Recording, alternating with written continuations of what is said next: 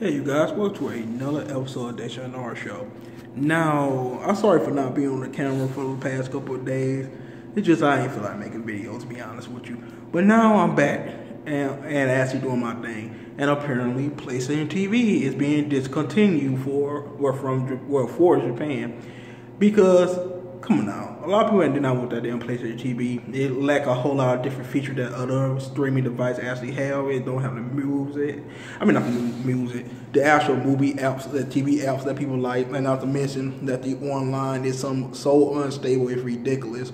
And you can't play all the Vita games. So it's like a waste of time for Sony to even create the damn thing. I don't even have the fucking thing to be honest with you.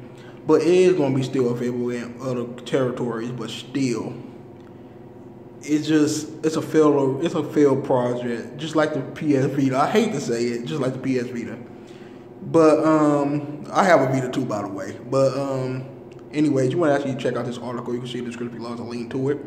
And tell what you guys think about this. If you guys do have a PlayStation TV, if you actually like the PlayStation TV, hey, that's cool. I mean, I was about to invest in it, but I'm like, I must rather pray the damn PS Vita games on the go. Only a few, like a handful of the damn PS Vita game that I wanted anyway, so it wasn't no point of actually getting the PlayStation TV for that, and not to mention that it only in 720p, and, and not to mention you can play all the Vita games as well, so it's a waste of time to me.